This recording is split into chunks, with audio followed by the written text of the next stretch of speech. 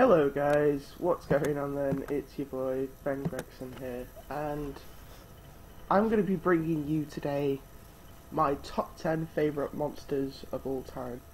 Now I'm not including XYZs, fusions, or synchros. This is because I'm going to make separate videos on each of those types. I will be including pendulum monsters in this video, even though there are no pendulum monsters in this top 10. Spoiler, I don't like pendulums. Actually, there's one, and I completely forgot about it. But yeah, there is one pendulum. Anyway, just as a heads up, this video does contain something called an opinion. Now, a lot of you people may be unaware, but an opinion is my favourite thing. I, I have an opinion, and you will respect my opinion. If you guys think there are better cards to have in this top 10, even though they're my top 10 favourite cards, then please leave them in the comments below. Let me hear your top 10 favourite monsters. And anyway, let's get into it. So, at number 10, we have Venus. Now, the Agent of Creation Venus was basically, I played Agents as my first quote-unquote meta deck. Um, this was, God knows how long ago, but it was when I first started playing Dueling Network in 2011, 2012, and Agents were the best deck in the game. It was Agents and Inzektors, and there was another deck that I can't quite remember. But I played Agents for that time, and the thing about Agents was there was lots of different variants of the deck. There was Chaos variants, there was Pure variants, there was Kristya variants. But one card that stuck across all the variants I played was Venus, and Venus was a playmaker. Like, you could summon Venus, pay 1k, summon two Shine Balls, or 3k, depending on what you had in hand, and then you could overlay for a Gachi, or you could make a synchro play using Genex Ally Birdman, and yeah, Venus was just an all-round great card, and it was one of the cards that helped me learn the game personally. So on to number 9, we have literally a card I was just talking about, if we can find it, Genex Ally Birdman. The key to my Karakuri OTK deck, and the key to pretty much every synchro deck I played. So, I actually used to play Birdman in Quasar, believe it or not, and I also played Birdman in Frog Monarchs. I'll go into detail on that deck later on, because there was a lot of fucking weird tech in that deck. Um, but Genex Ally Birdman was a way of me making the big locomotive dude. Uh, can't remember its name, and I'm probably not going to look it up. But there was a dark machine, Synchro Monster, and used to sync Ally Birdman and Caius, and it enabled you to take control of another monster. I'm going to quickly look at it. I'm probably not going to be able to find it, am I? I'm just going to be sat here looking. Anyway, while I look for this incredibly good monster, there we go. Uh, basically, when this card is summoned, you take control of a monster. The monster your opponent controls is the highest level. Now, Big Eye was around at the time, but you're not going to take fucking Big Eye in Monarch, so this was the next best thing. So what I do was I would bounce a frog, say Swap Frog, or Dupe Frog, usually, and I would summon Genex Ally Birdman while I had Caius on board, and I would Synchro, and then I could possibly OTK through Locomotion R-Genex, so that was one of the weird engines I ran. And next up is possibly a controversial card, and not a card that many people actually played, nor did many people actually enjoy the deck anyway. But this is the card I am on about. So we are going for Scrap Chimera. Now, I played Scraps, basically, once they got Scrap Factory, which is this field spell here, I played Scraps for, say, about two or three months when I was still in the Alpha Pack clan. Uh, still, I don't even know if Alpha Pack's still around, but anyway, um, me and a couple of friends at Alpha Pack were basically testing Scraps, and I was the one that took it to a whole new level and kind of took it to events and took it to tournaments online and Dueling Network and I won a few of them with this scrap deck, and when you can go triple scrap dragon turn one, it's pretty fucking ridiculous. and Scrap Chimera was that playmaker, along with Scrap Orthros as well.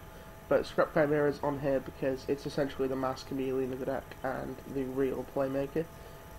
And then on to number four. Now number four, uh, no, sorry, number six. Is it six? Ten, nine, eight. Oh, number seven. I cannot fucking count. So, here we are at number seven, and this is possibly, I'd say, one of the cards that is closest to me personally, and that is my man,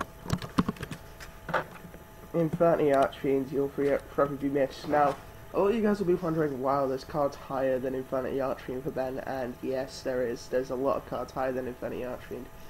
Infernitys were the deck that I played, but Infernity weren't the one and only archetype for me, and they weren't. Infernity Archfiend wasn't the only card that I genuinely liked in the game.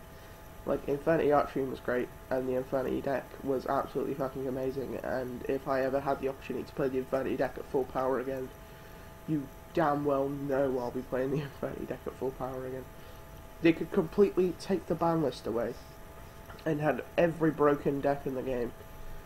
And like Butterfly Dagger, Elma, OTK, with even more consistent cards, Card of Safe Return, Zombies, shit like that, and I'd still just play Infernity. That, that's the kind of guy I am, and Infernity was my biggest learning curve, and Infernity is the reason I probably am as good as I am at this game. Learning every single Infernity combo that there was to learn, learning how to play Synchro Infernity, XYZ Infernity, Hero Infernity, and this card basically was the centerpiece to all of this learning and my big learning curve, and probably me making YouTube videos today, because I remember making a really old channel, um, and doing it on Infernity Arch in Infernity combos, and bearing in mind I was no more than 16, 15 years old, and I had the squeakiest. This was 2012, so I would have been 15, and I had the squeakiest voice ever.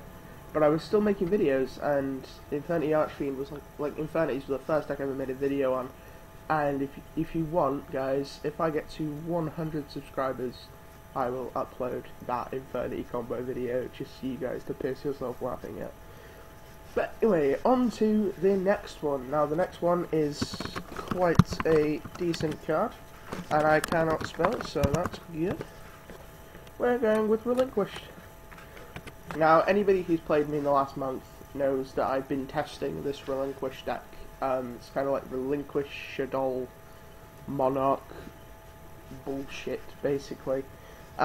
um, we lost Chicken Game and we lost Upstart, which meant that the deck was a little bit less consistent. But I've still been playing the deck, and I've still been really enjoying it. Um, admittedly, everybody's citing Mask of Restrict nowadays, so playing Relinquished wouldn't really be the most viable option in the current meta, but I still have the Shaddoll engine as well. Uh, making Winda and then summoning Relinquished and just constantly stealing your opponent's monsters is really fun. Um, also, using King Caballo, summoning King Caballo, special Relinquished, and then steal your opponent's monster, then overlay link relinquishing Kinka-byo into a rank 1. Still a pretty good play. Um, but also Relinquish holds a special place in my heart because it's owned by my favourite anime character uh, from the Yu-Gi-Oh series, and that is Pegasus. Pegasus was everything I want to be, really. He's a millionaire who enjoys cartoons. I mean, admittedly, he's a bit of a psychopath, and I wouldn't be stealing souls from anybody but like his characteristics and the way he was just yeah he's definitely my favorite character in the game but this isn't about that so yeah relinquished is at number five and number four we have this little guy why Konami did you put this card to one well I know why you put it to one but Dino Rabbit was a bitch but I didn't even play Dino Rabbit that's the funny thing I played Rescue Rabbit in Ninkendog Fire Fists. Now we'll look at take a quick look at ugh, take a quick look at Ninkendog. So Ninkendog was a level four normal monster with 1800 attack and he was a beast warrior. But he was also wind. This gave me access to Lightning Chidori. This allowed me to make pluses. This was just a really fun deck to play. This was during plus one Fire Fist format as well. So it was just after Rescue Rabbit got hit, and I was always there like, if Rescue Rabbit didn't get hit, this deck would actually be viable, and I could play this a lot more. But obviously, Nintendo never to be a viable meta-breaking card ever. But Rescue Rabbit was part of my learning curve as well. Learning how to play Rescue Rabbit and also learning the... I kind of learnt the XYZ mechanic uh, through playing like Dino Rabbit and stuff like that. Because when I started, it was like... Well, when I started playing properly, it was before... Well, it was just when the XYZ mechanic came in and I was struggling and I was playing shit like Volcanics and all sorts of stuff like that because my friend Karish recommended me Dueling Network, Dueling Network to me. And I just realised this is one big history lesson for you guys about me personally. Um, but yeah, Rescue Rabbit definitely deserves to be up there. And next on the list has got to be one of my favourite cards of all time, and you can't disagree with me about this being a really, really, really good card. And that's my man Drollbird. No, I'm joking. No, Drollbird can stay in the side deck. We are talking Elemental Hero. I won't even type that in, but I will type in Voltic now. Voltic was part of one of my favourite decks. Basically, after Infernity got hit, I started playing this Elemental Hero deck, and it was based around, obviously, Voltec just beating up your opponent down and special summoning aliases. And this was my venture into I don't want to play meta anymore. I want to play something different.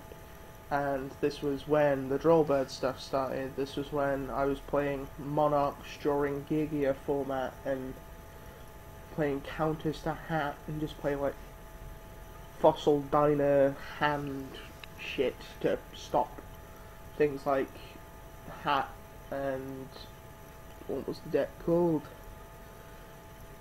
I can't remember the name of the deck now, and I've played in that format for so long. Lightsworn, things to stop Lightsworn as well. Uh, my friend A Hill will agree that Lightsworn was his favourite deck at the time, and it was one of mine as well. But Lightsworn doesn't really deserve a place on this list. I don't particularly like the Lightsworn cards, I just played the deck for fun. But yeah, Voltic definitely deserves a place, and he will be very much played for me in the future. Now, the next card is another controversial pick. And a lot of people will be like, oh, everybody loves that card. And that's Maxx C. Now, Maxx C is obviously a good card. There's no putting that down. Maxx C was an incredible card.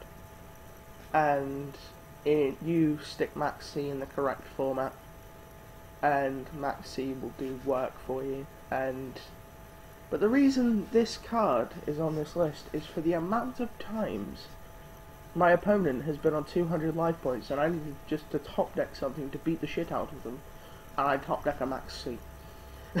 like, I've top decked Maxx C per game over the time I've been playing the game at least like 200 times at the very least. Like, it happens way too often and it's great. Don't get me wrong, but it, I kind of think it's a bit disrespectful doing that to somebody. It's kind of like the biggest like Yu-Gi-Oh T-Mag, other than killing somebody with good old Drollbird over here. Um, but yeah, Maxx C. I think Maxx C's even got lower attack than Drollbird. So, you know, Maxx C's even less powerful but you know, Maxx C still does the job, and you can't take away it's one of the best hand traps in the game, no doubt about that. So we're on to the final two. The final two of my favourite cards, and this is one of my favourite cards because of the deck that the number one card was in, and also just because it was really fun, and that was Gorz the Emissary of Darkness. Now, Gorz another one of those hand traps that were phenomenal in the game. Hand traps are great, there's no denying that. Hand traps are the best thing that I've ever... I'd say possibly the best mechanic that's ever been in Yu-Gi-Oh! ever. Like, better than the Synchro mechanic, better than the Xyz mechanic. I think that the hand trap mechanic made the deck, uh, made the game much more I don't know, resource intensive. Like, you had to think about your resources more than you had Effect Veilers and maxis because your opponent could have Effect Veilers and maxis, and if your plays get stopped, then obviously it's the same way trap cards work. Really, you have to keep everything in account. But if your opponent's not playing hand traps, you can go hail mary when they have no back. So, and also it's cards that can't get MST'd, and that's really fun. But anyway, back to my original point. So in this Monarch deck, there were basically three engines mixed into one. There was the Genex Ally Birdman portion of the deck, where I bounce for synchro summons and things like that. Then there was the hand trap portion of the deck, so I ran double Gorz, double Maxx C, and a single Veiler. And that was because I didn't run traps in the deck. I believe I ran I ran two traps and it was a bottomless and a D prison and other than that I ran nothing. Bearing in mind this was a Monarch deck when Monarch Storm 4th wasn't around and also Dark Dust Spirit was a very much played card. So me summoning Gorz wasn't a smart idea if I was planning on sacking for Dark Dust Spirit next turn. But it was still a phenomenal card and also just to point out The amount of times I tribute summoned Gorz for game was ridiculous. Like, there were two cards that you wouldn't tribute summon for game very often, but when you did, you felt great. And Gorz was one of them. I didn't drop Gorz half the time, I even wouldn't have any back row, they'd swing into me. And then I'd just pass turn, and then next turn I'd go, okay, Treeborn Frog, enemy controller, resummon Treeborn Frog, sack both to summon Gorz for game, and they'd just be like, what was the point in that? And be like, just disrespect, really. So yeah, Gorz makes it onto this list, and the last card, and my friend Alistair and my friend A Hill will understand why this card is at number one, and that is Maiden with the eyes of, well, Maiden with eyes of blue. So obviously I'm going to put blue eyes here as well. Um, but this is the thing, okay? So I played this Monarch deck for so long. And it was because of Alistair, really. Like, me and Alistair came up with this deck, and we were thinking of random cards to tech in. And we decided to tech in one Maiden with the Eyes of Blue, and one Blue Eyes White Dragon. Why we did this, we still have no idea. It was just kind of a you know what? You know what? I think this card would go in good in the deck. Actually, I remember now because we were we were running a Mystic Piper engine at first. Uh, Mystic Piper obviously got Maiden. Um, we were running that Mystic Piper engine, but then we I moved over to this Gorz and Genex Ally Birdman bullshit, and I just brought Maiden with me, and Maiden has been one of my favorite, well, literally my favorite card in the game. I've played Maiden in so many random decks. I played Maiden in Infernities at one point, just for fun. I remember I took it to locals and I ended up taking first place. And I summoned Maiden at least four times. I've played so many decent decks with Maiden in. And thank you very much for watching guys. I'm gonna go I'm gonna go build Maiden Monarchs again. If you guys would like to see Maiden Monarchs, please leave a like on the video. Thank you so much for your support recently, guys. It means an absolute ton. And, yeah. I'll see you in a bizzle. Goodbye.